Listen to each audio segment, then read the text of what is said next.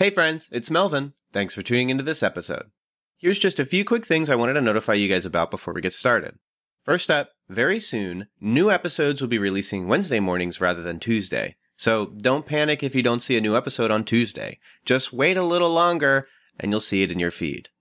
Second, we've introduced a mailbag.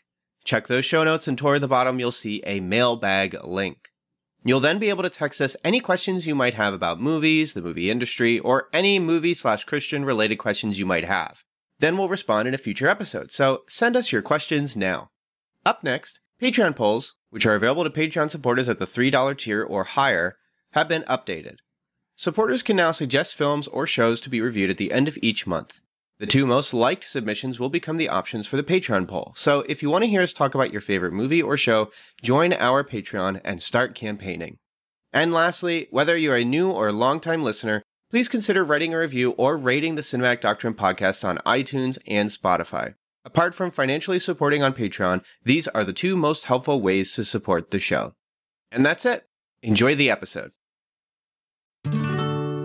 You're listening to Cinematic Doctrine.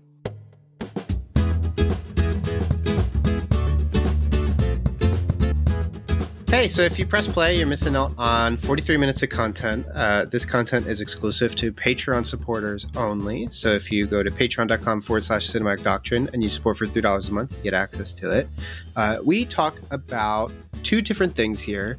Um, the first thing we talk about is this rumor that the uh, Russos will be coming out to uh, possibly do Avengers 5 and 6 um, now that the Kang Dynasty has become the Kang disaster, um, all thanks to a lot of really horrible stuff, frankly. And that combined with the fact that the Marvel films lately have been hit or miss as opposed to the consistent stride that they had from phase one through three um, has bloomed this rumor um, that has come out. And it's not just a rumor as in like somebody just talked about this and that whatever but sources uh, were able to confirm it with um, sources confirmed with journalists but marvel has not confirmed it yet so we'll see what happens but we spent some time talking about that and what we what we think it could mean um, and then following that, we talk about um, how Gladiator was, and I still haven't figured out how to describe it, but they got review bombed on YouTube for the trailer. So dislike bombed, whatever. Uh, basically, the Gladiator trailer, Gladiator 2 trailer comes out, and uh, James Hibberd of Deadline observed that it had 133,000 likes and then uh, had 279,000 dislikes. So he was like, hmm, that's weird because this trailer's killing it. Everyone wants to see this movie. What's going on? So he learned that there were these three interesting reasons why across X and the YouTube comment section why people are not liking the trailer. Um, and we spend some time talking about those things and uh, how the internet hasn't grown up yet. And we're still waiting for it to get out of its diapers uh, because people complain about the darndest things. Um, so, again, support on Patreon. You get to hear some extra content, uh, 40 minutes there. And then on every episode, frankly, for the last two and a half years, three years, we have been doing this where you get 40, 20 to 40 minutes of extra content uh, of all different kinds. And it's not always time prescient. So, you can listen to older stuff and it'll be either a mini game, trivia, all kinds of fun stuff. Um, but you press play because you wanted to hear us talk about Dream Scenario. We're going to be doing a movie discussion. Dream Scenario came out last year, 2023, uh, from a director whose name I'm going to totally get wrong here. Christopher. Oh, it's just, it's just Christopher, but in a different, just from a different nationality. Fooled, Christopher yeah. Borgli. Movie discussion formats are very simple. Uh, we talk about the film very generally about different topics, themes, how we felt about it, um, the first half is no spoilers, uh, so you'll be able to hear how we feel and vibe about the film, and generally if we enjoyed it or not. And then the second half will be opened up spoilers, uh, where we you know talk about the film however we want. Um, that transition kind of just happens. I'll announce it when it takes place, but it we, we kind of sometimes it's 20 minutes, sometimes it's 40 minutes. It just takes time and depending on how our conversation goes. Um, but I'm here with a guest, and I wanted to make sure we have some time to talk about that. I'm here with Isaac from Infinity Bros. Um, what is going on, Isaac?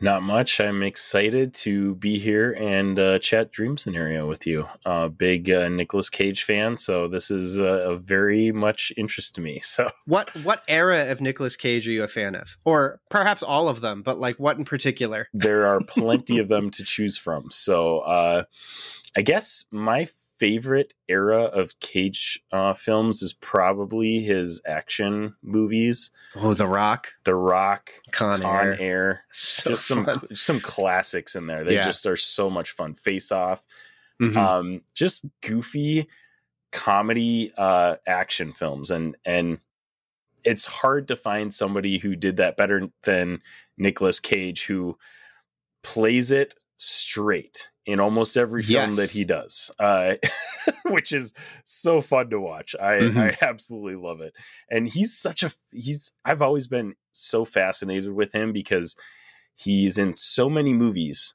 and a lot of them are really, really not great movies. Mhm. I just find it so interesting that an actor of his caliber can be in those types of movies. But the guy um, loves a challenge and loves to take risks in his acting career. So that's what makes me love him so much. yeah, you figure like he for a time fell into the like John Cusack red box movie era where like Mhm. he was just doing anything and you were Yeah. you would be like watching these movies thinking like what did he lose a bet like is, is he does he have debt or something what's going on and then like uh he had joe which came out in 2011 uh, david gordon green which was kind of like a mm, maybe Nicolas cage is back and then a couple years later i think some people like mom and dad i did not like that movie at all um and then that was kind of the beginning of his more art housey era where then you know mandy of course came out and Mhm. blew everyone's mind. But but we'll talk about Nicolas Cage in a bit. I want to I want to talk about your show. So Infinity Bros. Mhm. When I went to your website, I, I already knew you had a team, but like six people. That's crazy. So like, how'd you build this team? And and like I saw that like this is how it started too, or at least you Mhm. had a lot of people at the beginning. Tell, Yeah. tell me about Infinity Bros. Yeah. So the Infinity Gro- Bros are a group of The guys. Infinity Girls. Infinity Girls coming out. oh man, we. I mean, that's this is like the exact type of uh, joke that we would have on our podcast. Like making fun of each other is pretty much our bread and butter. So anytime somebody misspeaks, which we do all the time. We, there's like a five minute bit that happens right after that of us just ragging on each other.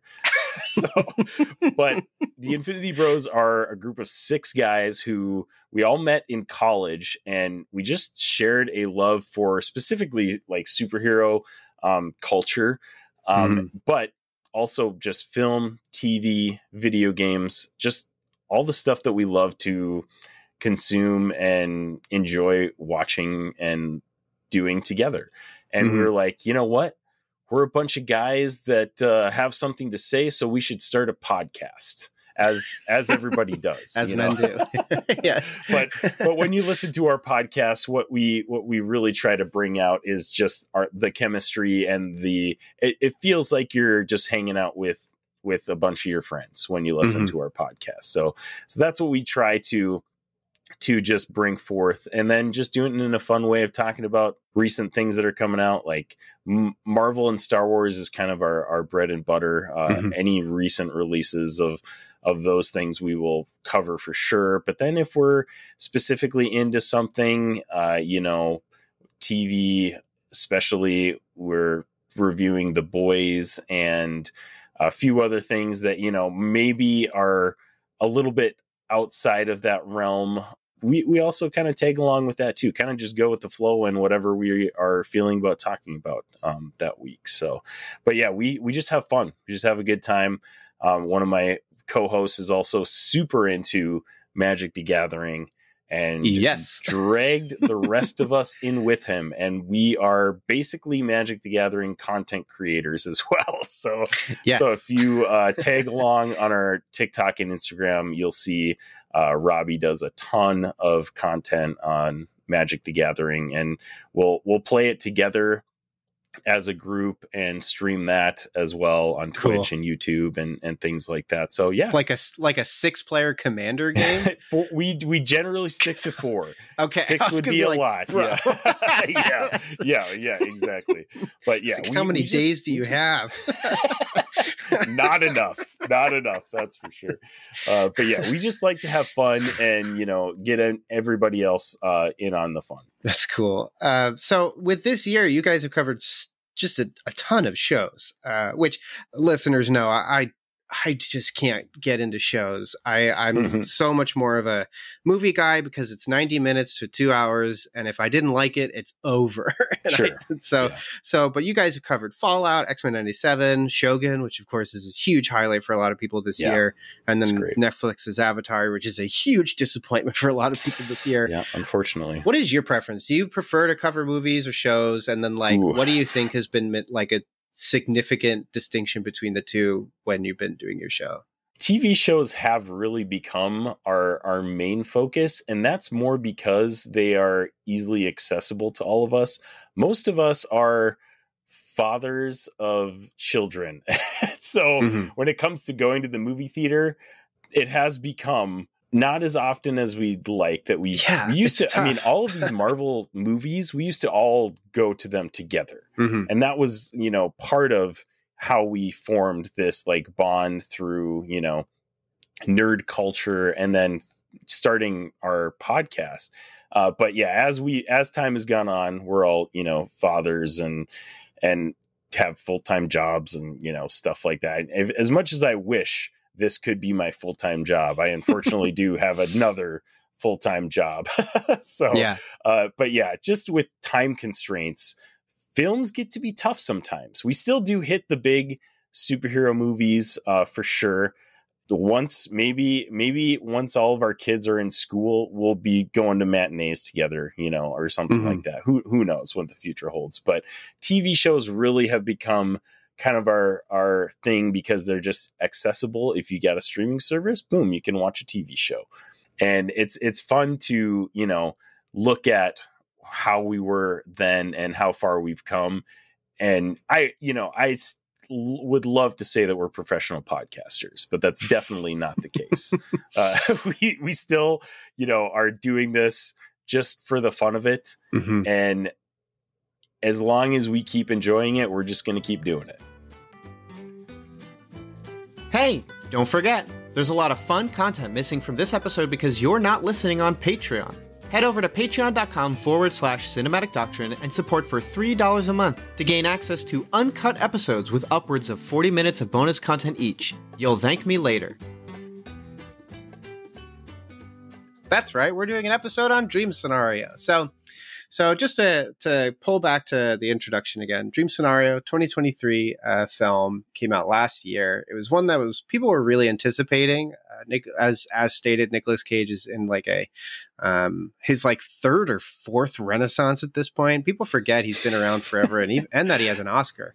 Mm-hmm. Um, mm-hmm. But that like yeah, he, this guy is a um, seasoned actor. Um, he has been around the block, and so when people saw that this film was essentially it, it, the premise is people are having dreams of a, of the same person, and the person is real, and the person is named Paul Matthews, and the char- the actor who plays Paul Matthews is Nicolas Cage. So you're seeing this trailer, and you're just thinking everyone's dreaming of Nicolas Cage. Yeah, I'll go see that. So like great great casting right off the bat. Um, the premise itself is interesting. The trailer kind of shows him like ha- shows versions of himself interacting with other people in dreams.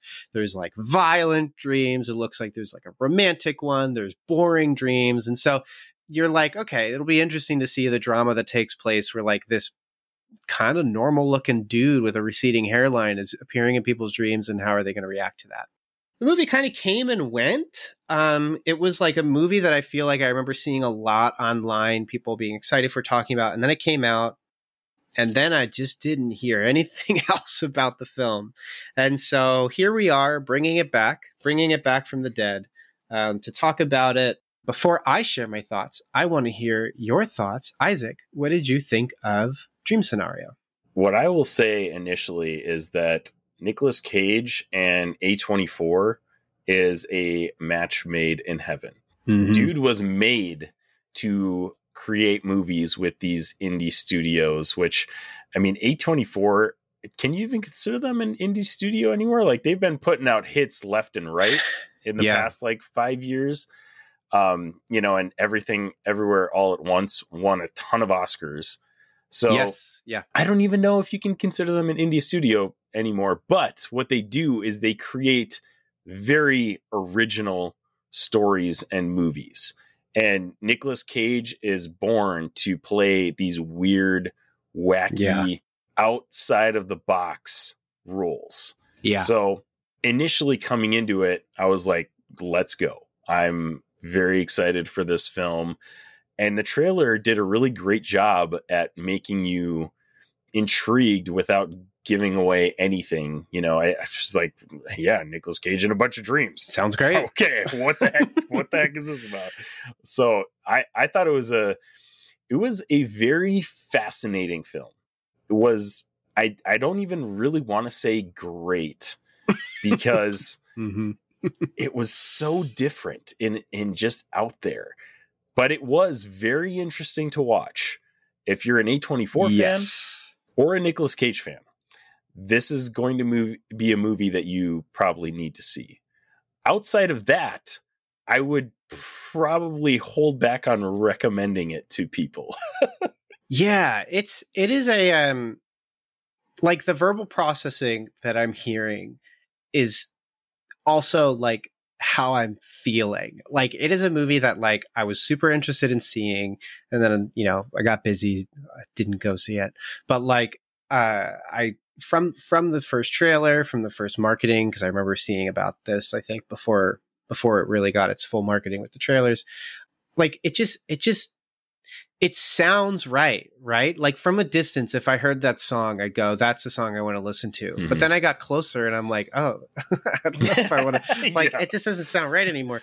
And Mhm. like, yeah, there. uh, I kind of like process the film as like the beginning to me was like all these pieces are really interesting. I like the high concept nature of the film.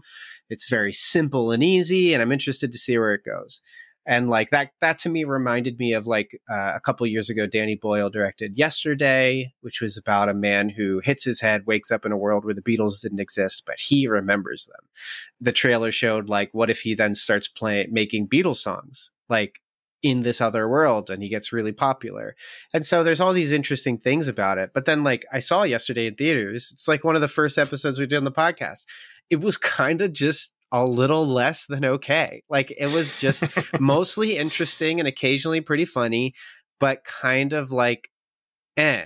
And uh, that to me just kind of came across like Dream Scenario was a little bit better than that, where it's really interesting Mhm. concept uh, and beginning ideas were super interesting and compelling. But then, like as it kind of continues, it simultaneously gets better. Like there's a scene in the middle that's probably both the part where the movie's going to lose a lot of people, but to me, I actually found it to be a really good dramatic scene until it decided it wanted to be a funny scene. We'll talk about that later. Um, but then, like after that, about 20 minutes later, the last like 40 minutes completely lost me. It like felt like it just goes off the rails. It turns into a different movie.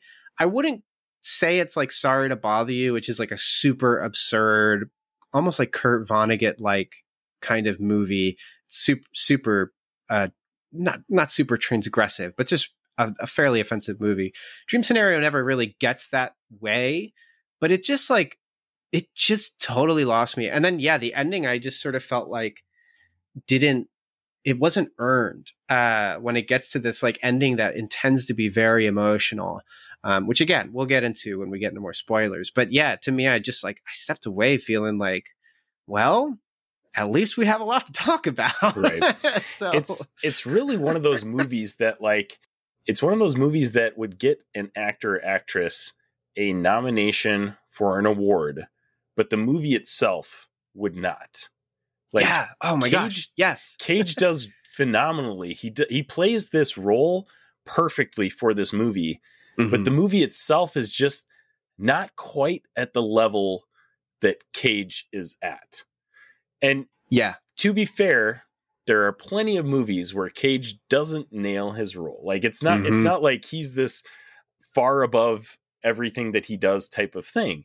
But the movie itself just isn't up to par with his performance in the movie. His performance elevates this movie drastically. Uh, I- I'm sure you noticed this too, but didn't the movie feel like it started like a normal movie with this one weird thing? Mhm. Everybody's dreaming about him. And then turns into a, a not so normal movie where everything is weird. Like yeah. that's what it felt like. It just totally just just I don't know. It just jumped Yeah. the shark. Yeah. Yeah, I, I definitely agree with you there. This the ending was not satisfying at all. I think it started out very, very well. And what I'll say about the whole movie itself, it had these eerie undertones that just played Yeah. perfectly to the type of movie that A24 was trying to make it be. So I think overall it was it was a a solid watch for me personally. Mhm. Uh, I, I enjoyed it very much, especially just Cage's performance. Like I said, I mean, it elevates the the whole film. It does it does kind of go off the rails by the end, and by the end of it, you're just like, okay, I think I'm done watching this movie. yeah. It it it's also like this film where like the beginning has all these interesting places to go, but by the time you get to the end, you realize you didn't get that far. Um, like there's just not much else to it. Um, what what did you find that the movie kind of evoked in you or drew out like as you were watching it? kind of the main theme that I I kind of drew from this, I guess, is the feelings of like wanting to be wanted.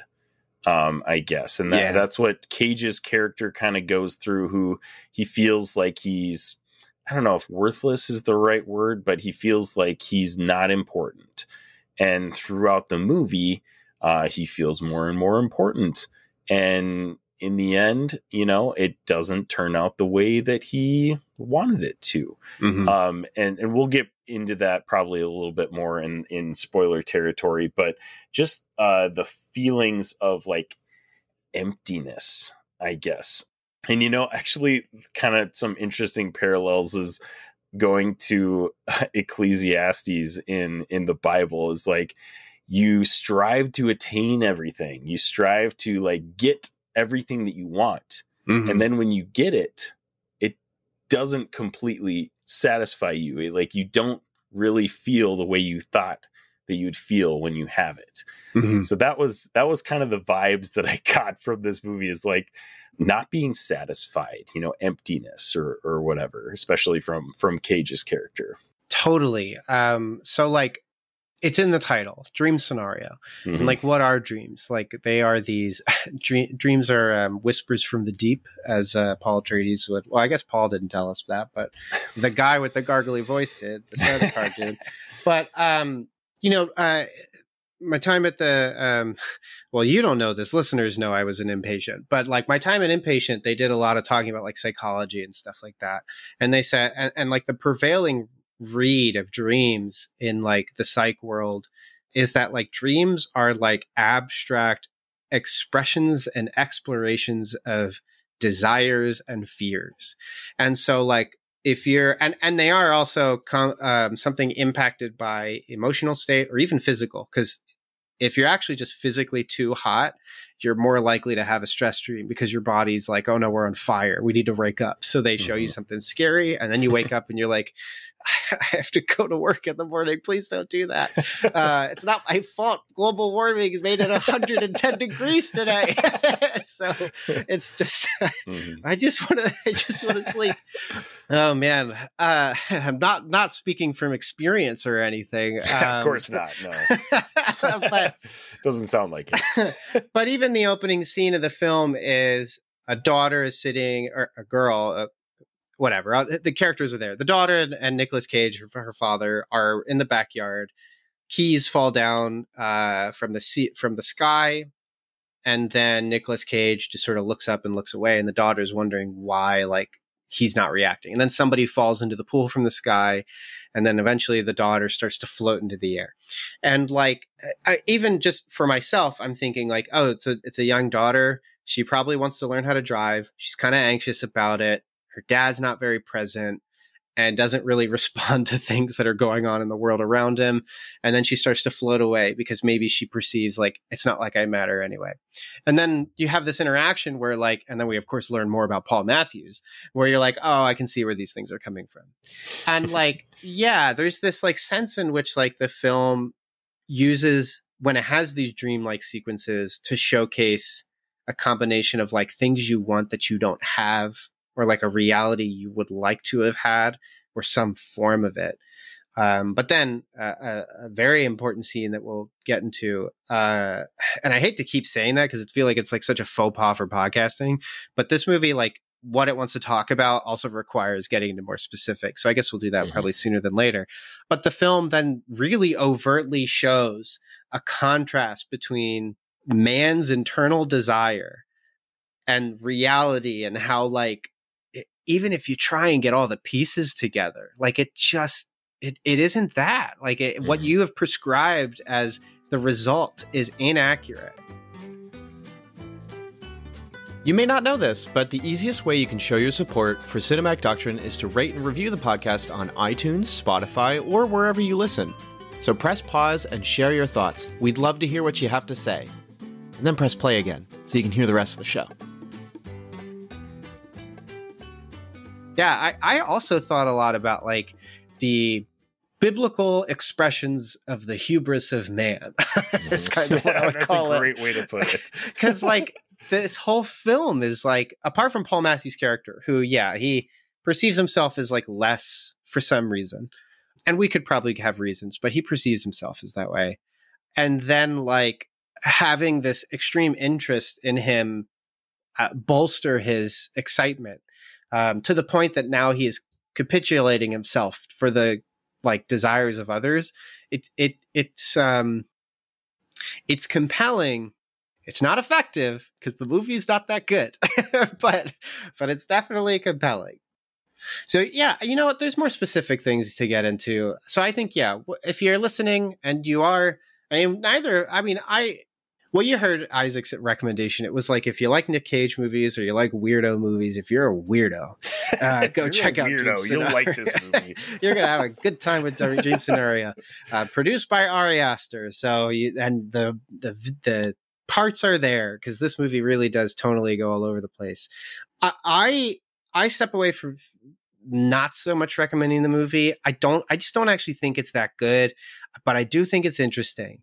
And so, in that regard, I soft recommend it. There's some, I would say, vulgar sexuality in the film that is non, uh, not nude. There's no nudity, but it is still like uh, a bit. mm. um, but I, so if that, you know, if the film interests you, check it out. But otherwise, we'll we'll get into we'll get into spoilers. Um, what um what symbols were you observing? Iconography, motifs. What what kind of consistent things were you noticing that the movie was really trying to talk about?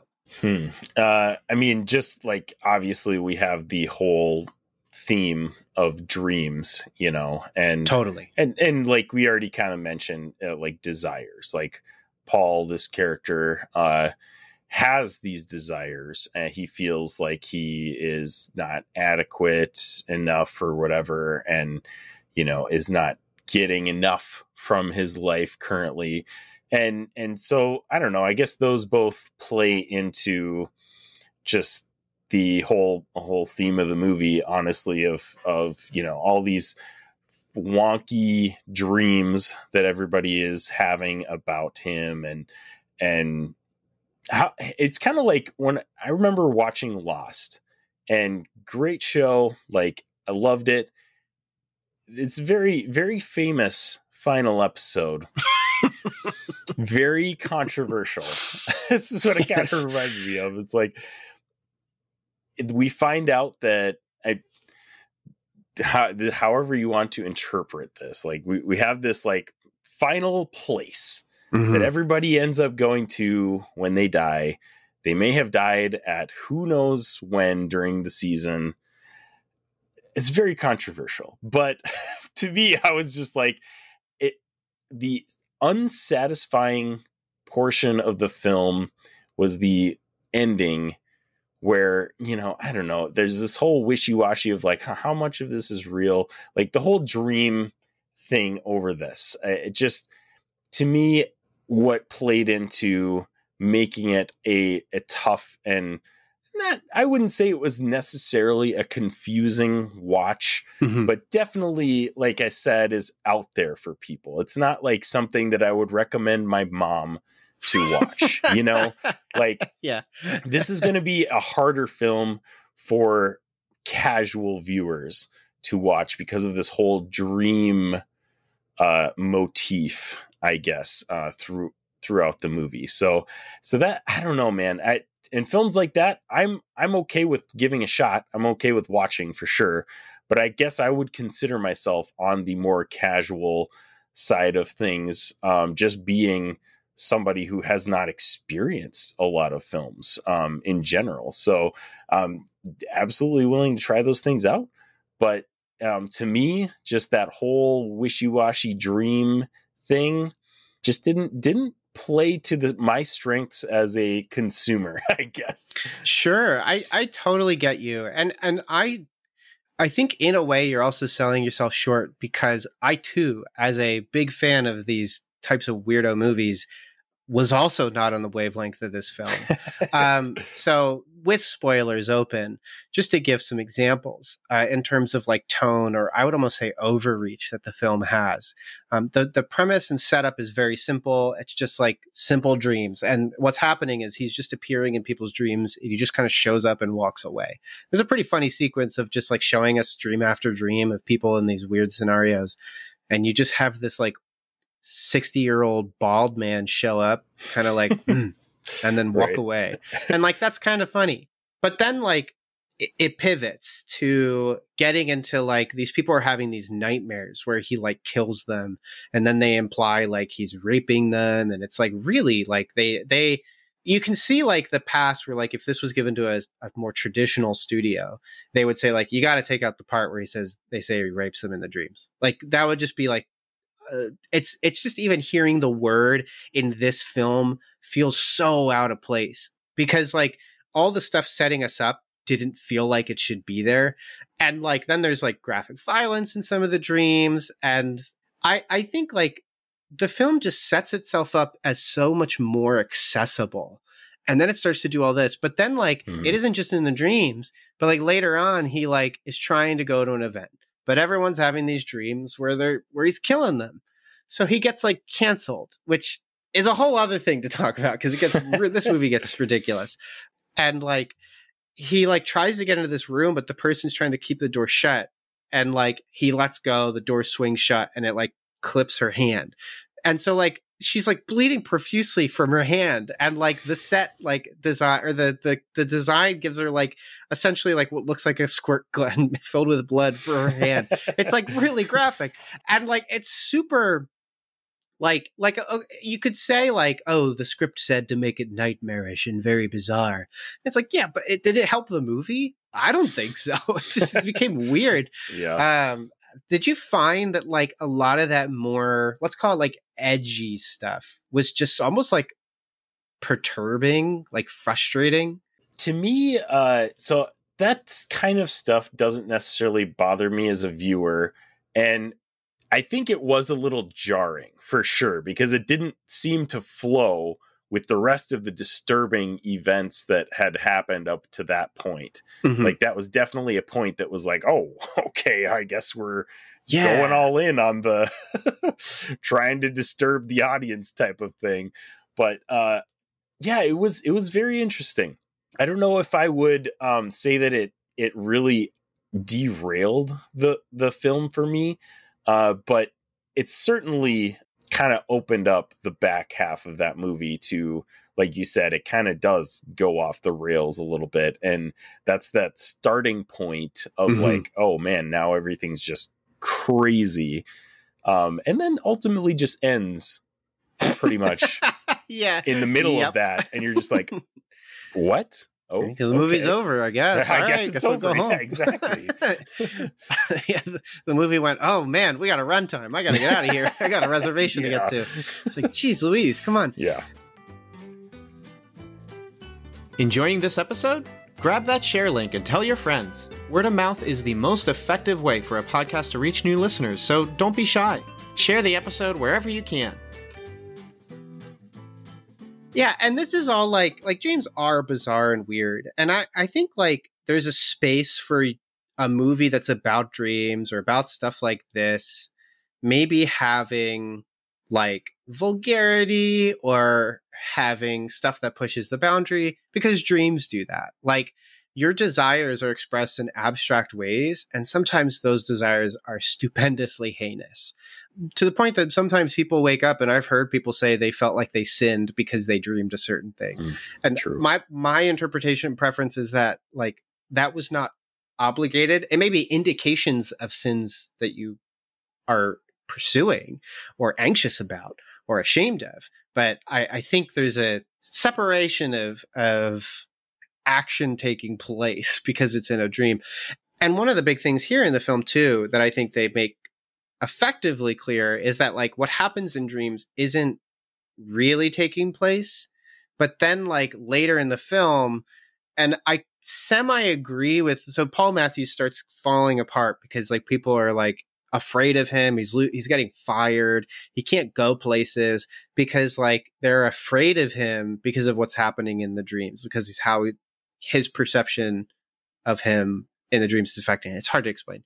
So he's getting mad and he's frustrated. And like this is a long part of the movie. It's like 30 minutes of like different scenes of this happening. And I even saw online people being like, I'm not really sure what the movie's trying to say about dreams here, culture here, possibly even cancel culture, which by this point felt so like stale to kind of yeah. get into. Then yeah, like it just i think that just i think there's just a disconnect is what i'm kind of getting into because mm. like my favorite scene in the film my favorite scene in the film is probably the most vulgar there's um there's this part of the film where he runs into somebody so the whole film he's running into people who are having dreams of him that are just boring. Like he just shows up and he leaves. But then he runs into like a young, call it like 23 year old woman. She's an intern who's just like, oh, like in the dream, we just have sex. And like, he's just like weirded out by that. But you can understand the curiosity, both one as an older man uh, who looks at himself less and is unhappy in his life, which is all bad stuff. Um, not I, he should get help for that. But then what he's now doing is bad stuff. Um, and then the interest in sleeping with this girl because that's been her desire or dream, and in the dream, he's like, okay, maybe I'll do this. So he goes out to dinner, and then finally she tells him the dream, and it's like he's creeping in the room beside her. She's terrified of him. Then he sits next to her, and then they he like becomes assertive is how I'll describe it. And I want to be careful for listeners because, you know, and I don't even have an interest in ex- describing anything explicit here, but it's also not very explicit in the film. It's just vulgar. Um, and then what happens is the girl, Molly, she's like, I want to recreate the dream. And like, I think what I found compelling about the scene is just that that's kind of what Paul Matthews is trying to do is he's trying to create and capture his desires and reality of being important. Um, mm-hmm. One character, Michael Cera, just straight up says, You're the most interesting person on the planet. And that immediately makes Paul happy. Right. Um, and so, like, for this person to then want to do the same, which is, I want to recreate this dream that I like having, they then try and do it and it's a disaster. It's just the worst. And like it's all great until it's not. Like the scene, I mean, because I really didn't like how it end ended. but I appreciated that like it was awkward, it wasn't titillating, it was embarrassing to watch. And like it was just like just awful. So I guess as I'm setting this up, what did you think of this uh, as I titled it, the recreating a sexual fantasy scene. I, I, love that you say this is your favorite scene of the movie. It's not like the movie gave me a lot to like, so I'm just yeah. No, but you're totally right about like it was like an embarrassing scene. Like I love The Office. Like rewatch it probably once every other year or something like that.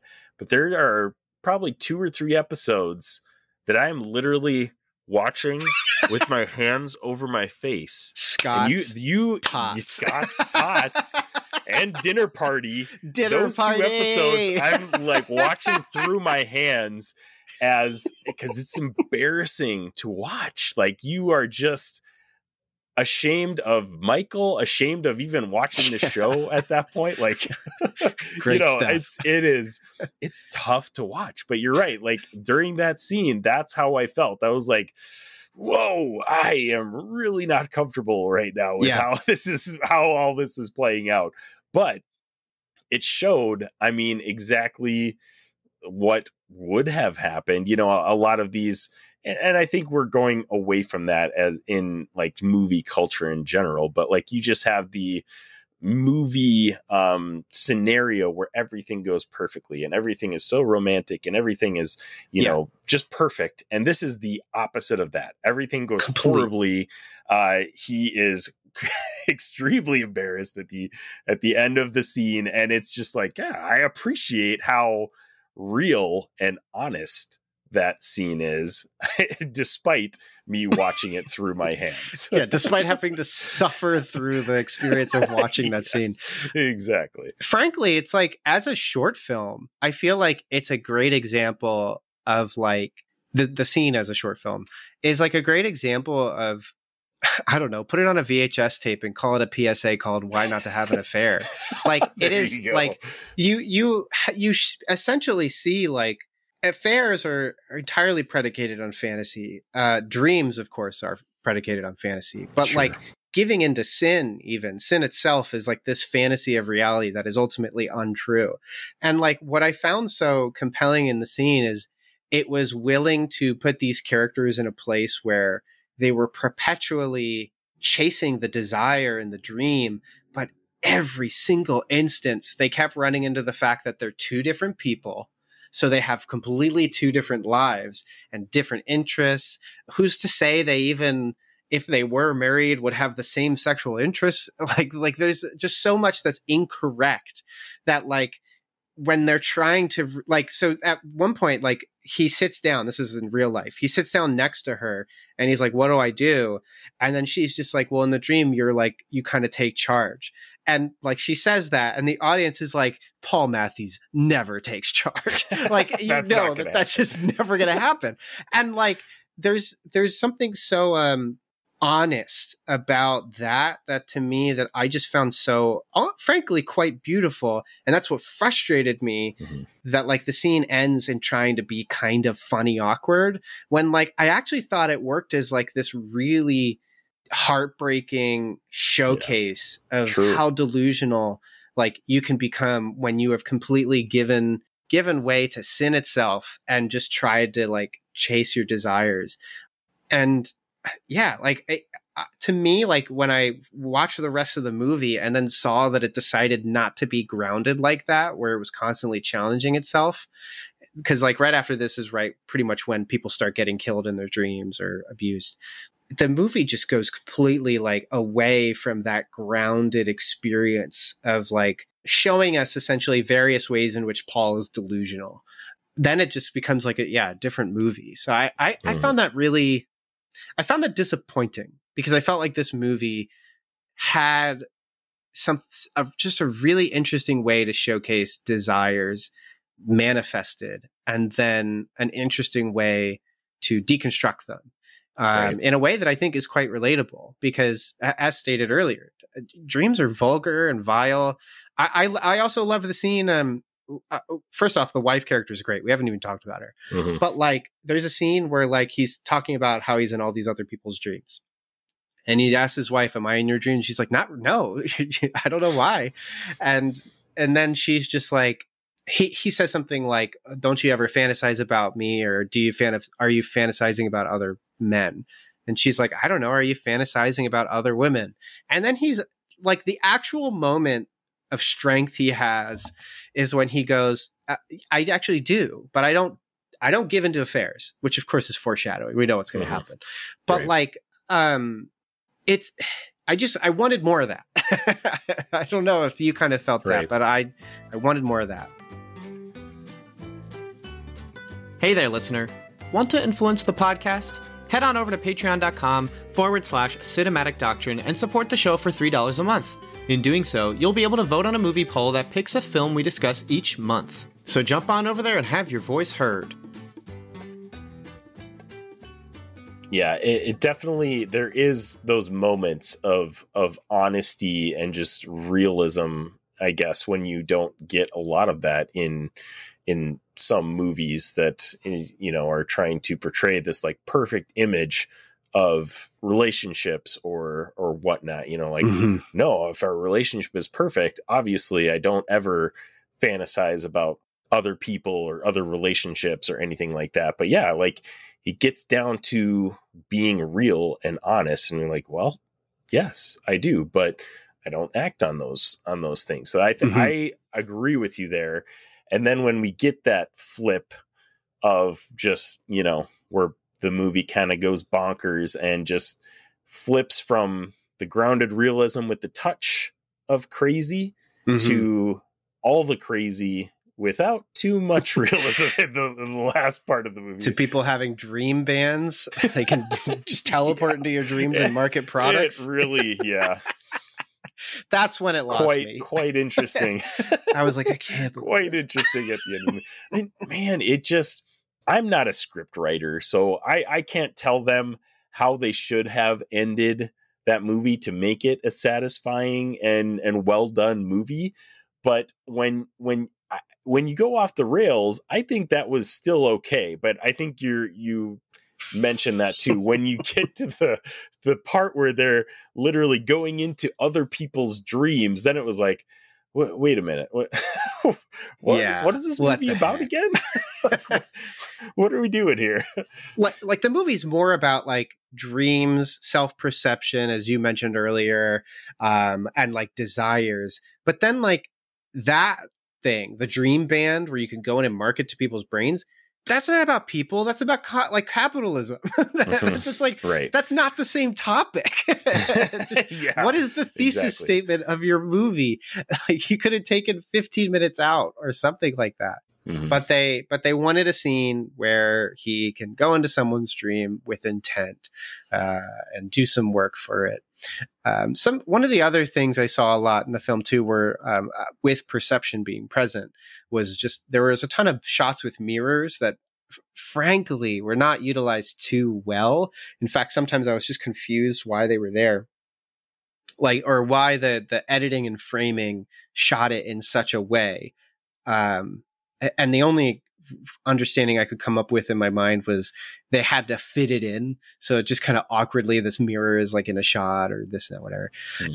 I was just thinking, like, because the film is a bit about how a bit because the film is a lot about how Paul Matthews sees himself uh, and wishes to see himself. I just thought that the motif of mirrors, although clunky, I thought was effective just because although I can look in a mirror and do my hair in the morning, like I will literally, literally never see myself perfectly. Um, I can never really see myself for who I am. I can know who I am. Uh, I can feel where I am in space and time as long as my inner ear is at the right level. um, I'm not too dizzy, but like I can't quite capture that. So I guess like I'm curious, like, uh, so we see how this character tries to resolve it, right? He he's going and he's seeing how he's seen by others and he's trying to control it or understand it. How do you kind of process that as like a motif in the film? And then how do you how do you deal with self perception? Hmm. Get into the big stuff. yeah yeah we're getting into real topics here uh yeah i think that's i and that's something that i didn't notice throughout the film like their their use of mirrors but that's a great point about how paul matthews probably looked in the mirror every day and hated what he saw. Mhm. uh he he didn't like who he was. He wanted to be more popular. He wanted to be more important. He wanted Mhm. other people to think he was more important Right. as as you know that's kind of the where, where it gets into the self-perception thing. Um he he just had this need to be important. And and that's that's a cool you know thought of like the mirror kind of just shows that he's probably you know every time he looks at he, himself he's thinking that. And that really does not change throughout Mhm. the movie necessarily. Even when he's on his upswing and his fame uh he still looks in the mirror and thinks like yeah i i think i want to be more important like he's striving to write this book that they don't want nobody wants this book but he really wants to write this book so Mhm. people can read it and and you know see who he really is and see how important he is.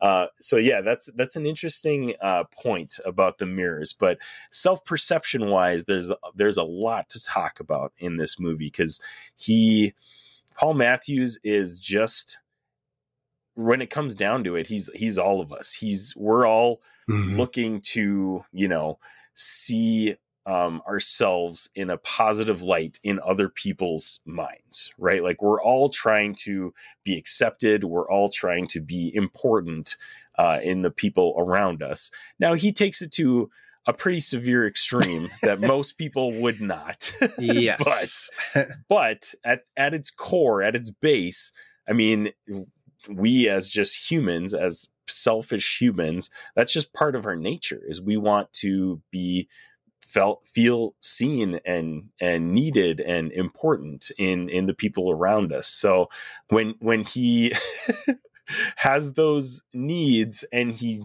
strives and strives and works so hard mm-hmm. to you know uh eventually act on those um it just and that's when it blows up on him you know and that's where i kind of made that parallel to ecclesiastes uh, where it's like, man, and, and he never, to be fair, he never really fully uh, sees his desires come to pass. Like it kind of yes. like he's grabbing at it, he's grabbing at it, but it never he never actually is able to grab onto it before he comes crashing down. Yeah, they're all they're all monkey paws. Yes, yeah. exactly. Whereas Solomon, the writer of Ecclesiastes, he reached the top. He was there literally he, there. He had yes. the peak of everything, and he saw it's all vanity. Like mm-hmm. nothing really is going to give you satisfaction in this life.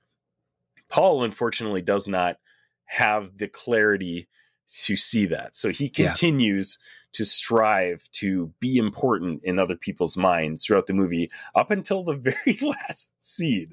Literally. Just, you know, yeah. Uh, just yeah, it's uh it's it's a has a lot to say about how you perceive yourself and how Paul specifically perceives himself. Yeah, and I kept uh, uh, drawing on the wife as a character. I kept thinking of um, how just she's very patient with him. She's interested with him, and uh, there was a line I wrote it down in my notes when I was watching. It was really, I really liked it. Where was it? He just he's like on the phone with his wife and i think it's just after he had this meeting uh, with michael cera he, michael cera runs like a company. They're going to take him as a client to get him to do partnerships and you know marketing stuff like that. And that's when michael cera says i think you of you as the most interesting person in the world which is like for paul is like the that's the mm-hmm. best thing he's heard in his entire life since the birth of his two children. So like he's maybe maybe even better from his perspective. and so he's like calling his wife and he's having this conversation with her trying to tell her like how like he's going to maybe have a partnership with Sprite and maybe try and get to be in Barack Obama's dreams and like uh, all that stuff. and then like his wife just says like you don't have to impress me, Paul. I love you. and like it's just this really sweet like response back that's very gentle because it's like a you know she's pushing back against what he's doing mm-hmm. but then also extremely kind to just say like i you're in my life i chose to have you be this close to me and i want you to be there and i want to care for you and that kind of thing and um yeah you're, you're drawing on solomon with ecclesiastes and like yeah all of this world and all of like the wealth or joy perceived joy you can amass in its materials or even like perception. It's vanity even when you have it all. And it also means you can lose it all. and I think, although I didn't like how the movie was ending, I think I, it's clicking for me that like he is completely at at odds or pardon not at odds what's the word? He he's completely dependent. He's codependent. It was earlier in my notes. There we go. He's completely codependent on the opinions of other people. Hmm. and that means when they turn on him he he is completely stuck with that and he's continuing to try to control it so at the end he's like wanting to still be allowed to go out and read a book at a cafe. But everyone's had dreams where he's a horrible person so they're terrified of him. They're like you need to leave or they're spitting in his food and it's just it's it's ridiculous. But like he is suffering the fact that like all these people who were now focusing on him have now interpreted him as they interpret him. Um, and just from my own experience within the last uh, I don't know, undisclosed amount of time. I've experienced what it's like to be like mischaracterized in a way that just feels so because he is in a way being mischaracterized, but the movie's not about what he's actually mm-hmm. done. It's about his perception and desires. Sure. What it's like to be mischaracterized is just awful. And it's really hard to pull away from that, to like really get away from like what people say about you, good or bad, especially if it's good, because it's easy to give into that. But if they can say good things and you're dependent on that, then you're going to feel really bad when they say bad things. Uh, yeah, it is. Uh, not to get to all Jesus on everybody, which I probably would like to do more often, but it is really amazing how in Christ, like, there's something we can just focus on singularly Christ, God, the Trinity, mm. and just be there. And like, because of what Christ has done, I'm loved, I'm cared for, and no one's going to just like swap like in dream scenario and change their mind like that. Yeah. Fingers crossed. Uh, I know. It's not yeah. fingers crossed. Just read the Bible. Um, yeah. Hey, listener, we've got a mailbag now. Open those show notes, scroll down a little, and you'll see a mailbag link. Press it and send us a text with a question and your first name, and we'll answer it in a future episode. So, if any questions pop up while you're listening to the rest of this episode, you know what to do. We'd love to hear from you. With the ending, um, which I think will be the bulk of where we go, because so much of the discussion is really made in the ending here. Just to describe the ending for the listener who decided to listen to the full episode and hasn't seen the movie. Um, Paul Matthews, by this point, he's been in everybody's dreams. He had his meteoric rise. Then all the dreams, he starts being violent. And he's not doing this by choice, by the way. These things just happen. Um, so the dreams start happening. Everyone rejects him. He loses his job. Um, he, but he starts reacting so vindictively because he's like, "That's not me," and so he's now trying to control his perception. He's trying to keep like to fix that. Um, he injures that woman at the thing, which then becomes a public statement saying, The man you've dreamt about, it turns out your dreams are right. He's a violent man. So he just loses everything. Uh, Michael Cera um, must have been being honest when he said he was the most interesting man, or Paul Matthews is his only client.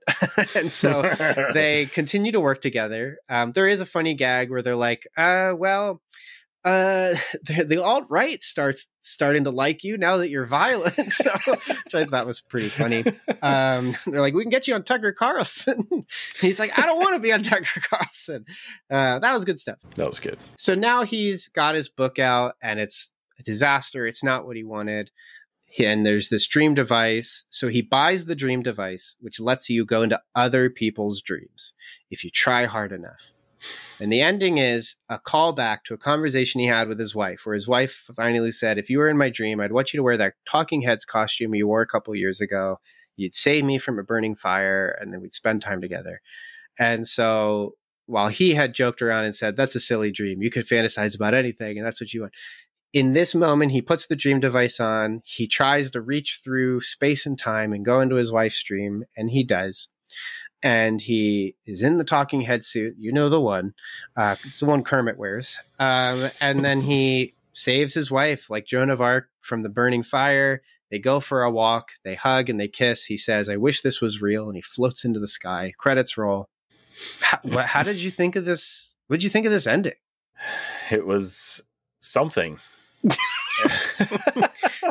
like I think we've already talked about, you know, how how this movie progresses mm-hmm. and you know when when you hit that point where there is that product basically that they're pushing that you can go into other people's dreams and then it was yeah. like i think we've lost the premise of this movie yeah at this point mm-hmm. so anything after that point is just like I don't even I don't even. It's like an SNL what's skit. going on. Yeah, Yeah. it really is. It really is. And and to go from a at least partially. I mean, this movie does have comedic elements throughout. You know, even Yes. from from the very beginning. So I'm not saying that you know it it all of a sudden changes and all of a sudden gets super you know comedic or Mhm. whatever. Parts are funny. Yeah. Parts are funny, uh, but there is that moment that it flips, and then you're just like, man, this feels like almost a different movie. Uh, and, and then Yeah. it just kind of ends, and you're just like, it's kind of left sitting there like, wow, okay. Uh, I don't Yeah. really know what to think about this movie anymore. Like if if it had ended prior to that, or like again, I said, I'm not a script writer. If they had some different scenario that ended this film, A waking nightmare scenario as opposed to a, dream, scenario. scenario, I might have had a, a much higher perspective Mhm. of this film. But yeah, it just kind of ends and you're left kind of wondering what what was this movie about? Yeah. it started out really well and in a great direction. And then it just kind of loses its steam a little bit by the end and and kind of just ends.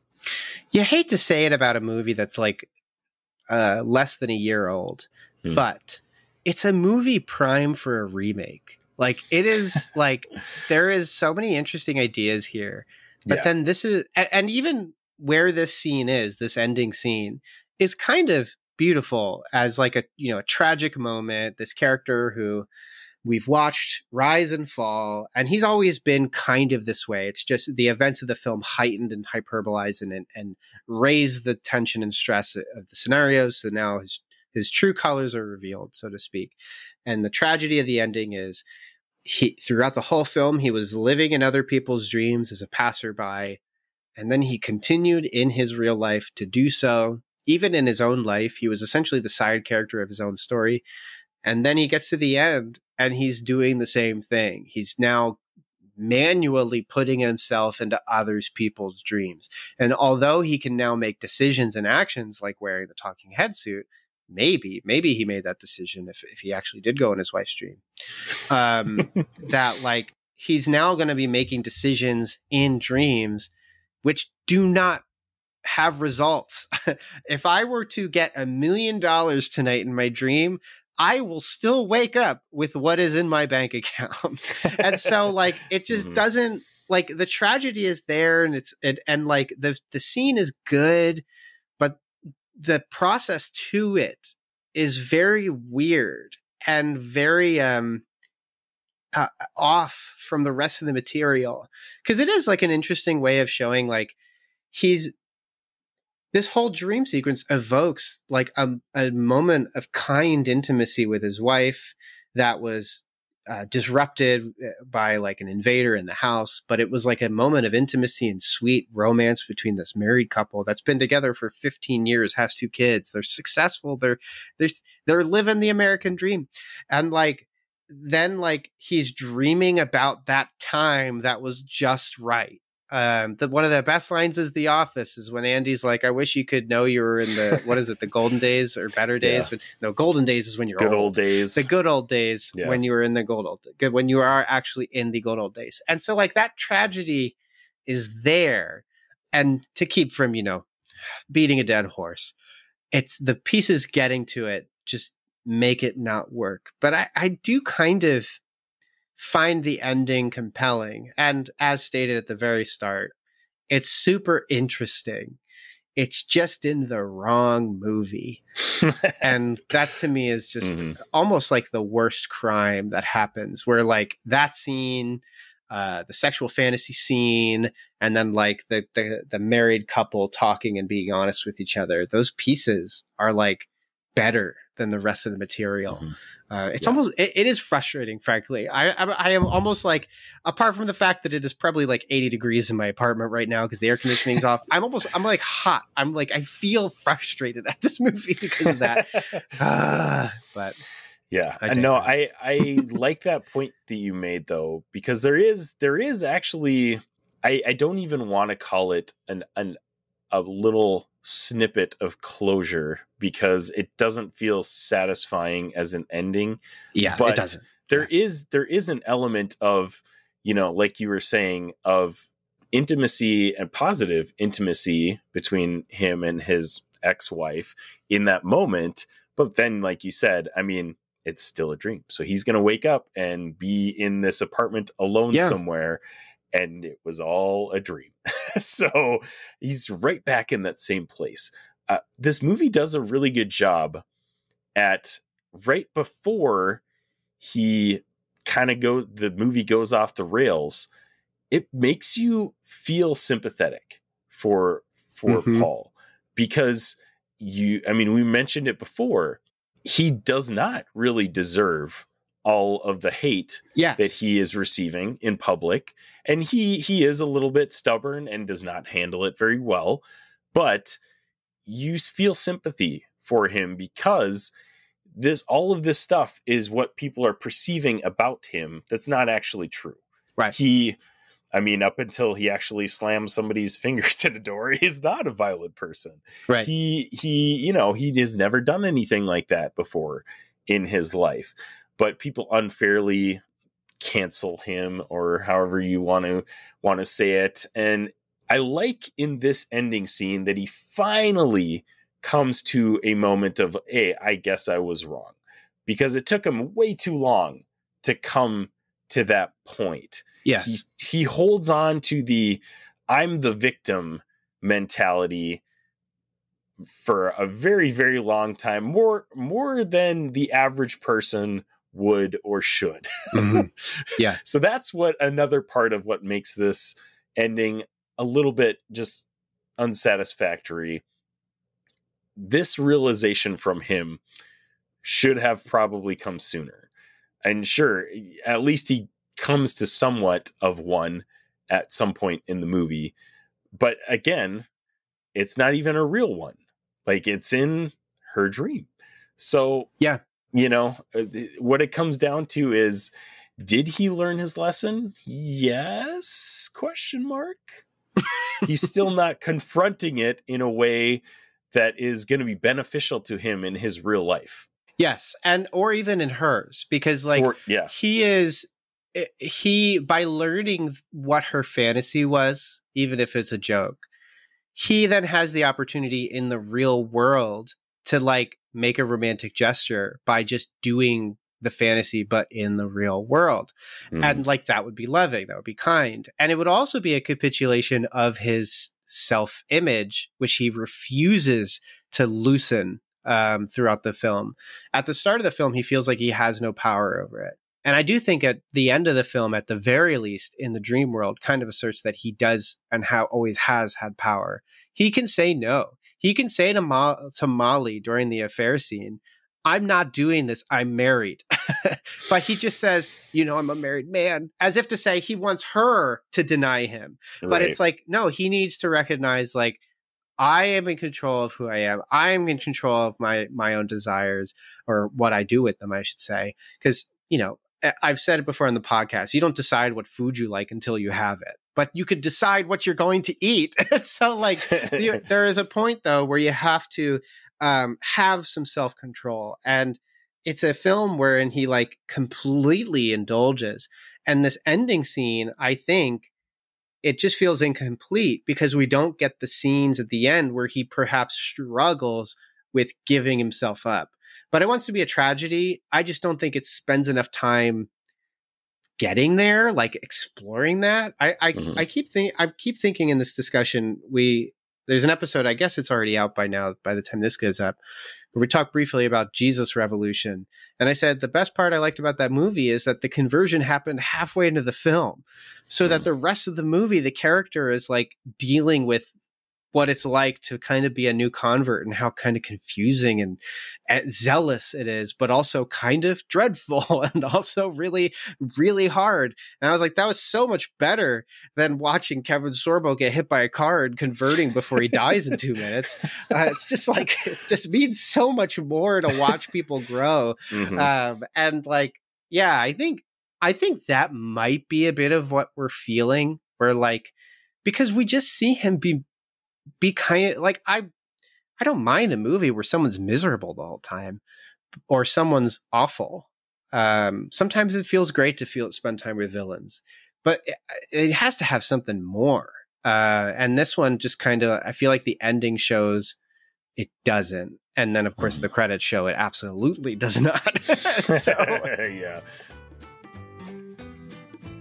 Want some quick updates on the podcast? Follow the Cinematic Doctrine Instagram for cool posts and story updates. Press the link in the show notes or search Cinematic Doctrine, that's one word, in your Instagram app. Oh, and we're on threads. Check us out there too. I, I would say though, like you know, all in all, uh, I think the movie, uh, if calling back to before we transitioned into spoilers, I think the movie's not great, but I think it's really interesting. So if any of this has sounded interesting and you want to at least have something interesting to talk about, listener, or maybe with people like who also like weird movies, this one's kind of worth checking out. But it is frustrating. And I think that as you're watching it, you'll be script doctoring it and also very embarrassed. Don't watch it with your mother. Just watch it by yourself. Yeah. so, Good tip. but yeah, uh, any, any, what, what do you think? Do you, how do you, with spoilers open, do you recommend it? Do you not? How do you think about it? I I think I feel about this. I'd say probably a step above interesting. I found Mhm. it the concepts and the ideas in this movie. I found them fascinating, Mm-hmm. but the execution left maybe a little bit to be desired. I still think, like you mentioned, the performances are great in this film, and that makes it much better than a lot of Nicolas Cage films that uh, that I have had the opportunity to watch. Mm-hmm. Uh, so, in that sense alone, as a as a film, I, I think it's worth a watch. It's not one that I would rewatch a whole lot, yeah. uh, no. but again, this is not something that I would recommend to my mom or to somebody who is not a big movie watcher. whose mom would you recommend it to? That's a great question. Maybe Nicolas Cage's mom. Maybe, but uh, yeah, it was. Uh, it's it's interesting. It has a lot of great concepts. Just a little too weird to be Yeah. great, in my opinion. Been itching for Cinematic Doctrine merch? Check out the support tiers on Patreon. We're offering merch to those who support at select tiers. So head on over to patreon.com forward slash cinematic doctrine and share your support. There's a link in the show notes too. What do you, what do you recommend to the listeners? I, I mentioned earlier that I don't get to go to the movie theater very often, and if I do, most of the time it's with my kids to a, a kids movie. But my wife and I, my wife is a huge Twister fan, and we just got the opportunity to go to Twisters last week.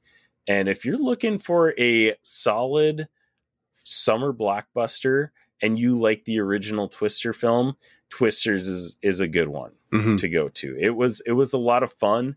They had some really great um, disaster uh, like scenes, like scenarios in that film.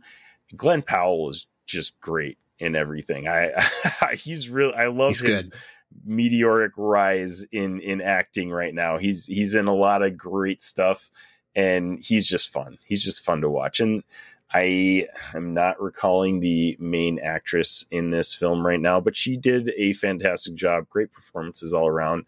It's a it's a fun one. And I Twister to me, this is another we mentioned on the Patreon version. I'm not a huge fan of all these like reboots and sequels and things that are coming out.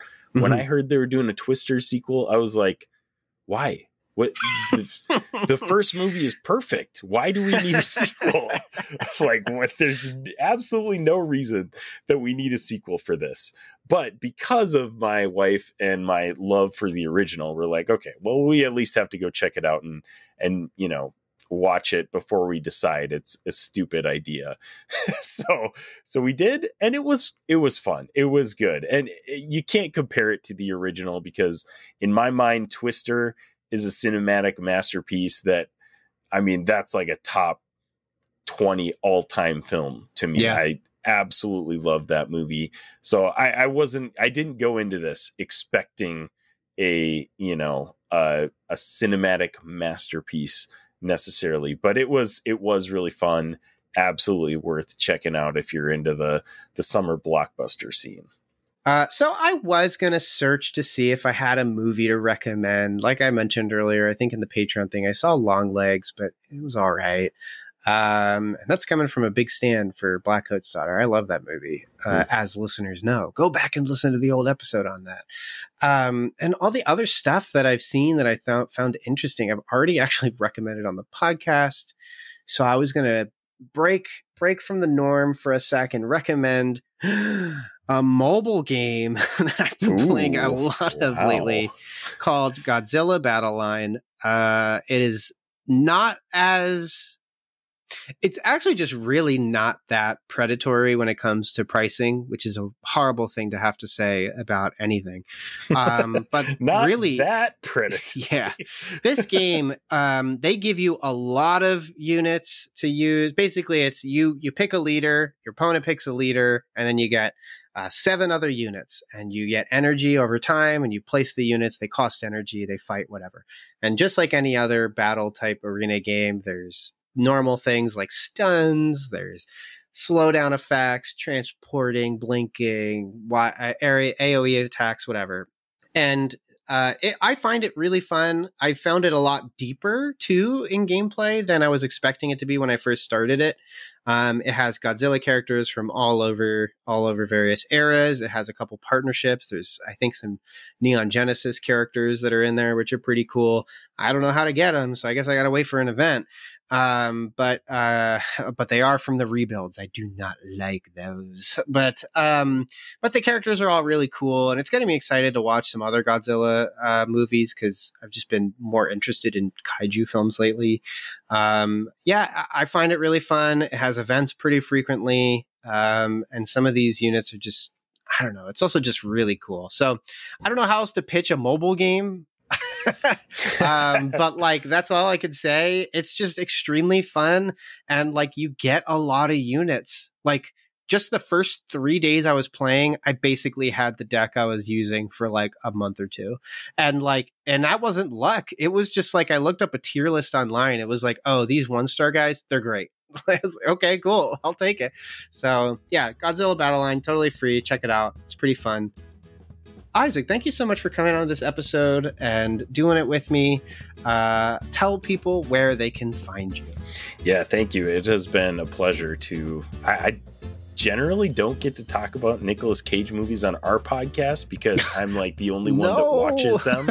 So so it's nice to be able to to talk to somebody about that. So yeah, it's been it's been a blast. But you can check out the Infinity Bros at theinfinitybros.com. We're across all social media, uh, frequently posting videos on TikTok and Instagram. Um, and uh, Robbie, one of our co-hosts, also does Drip, which is like a a whatnot type site where you can buy Magic the Gathering packs from him and basically get them shipped to your doorstep. So it's it's kind of a cool, cool, unique thing.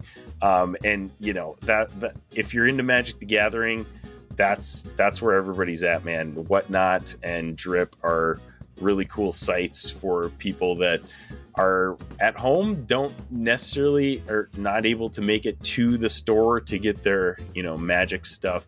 Um, so that's that's where robbie's at. But me specifically i hang out on x a lot. And uh, my now threads actually threads has become my my next biggest social media because people are just positive on threads. Mm-hmm. so check out the infinity bros on either of those platforms and you can you can hang out with me and chat with me about movies. Thanks so much for checking out this episode of cinematic doctrine. If you enjoyed this episode consider leaving a review and subscribing to the podcast and as mentioned before, Cinematic Doctrine has a Patreon. For as little as $3 a month, you're opted into a once a month movie poll where you decide a movie we discuss on the podcast. There are other unique benefits that come with supporting the podcast, so be sure to check that out at patreon.com forward slash cinematic doctrine. A special shout out to those who support at the Art House Theater tier on Patreon. Thank you so much, Mom, Dad, Melanie, Shirleyan, and Thomas. You guys are the best, and your continued monetary support is greatly appreciated. Until next time, stay cool. Want some Cinematic Doctrine swag? You're in luck. We've got 3 inch Cinematic Doctrine logo stickers exclusive for Patreon supporters. Perfect for your travel mug or laptop. Head over to patreon.com forward slash cinematic doctrine, link in the show notes, and choose the independent theater tier. Doing so will net you other perks too. But let's be real, the podcast stickers are the coolest perk. So get yourself some podcast stickers by supporting on Patreon.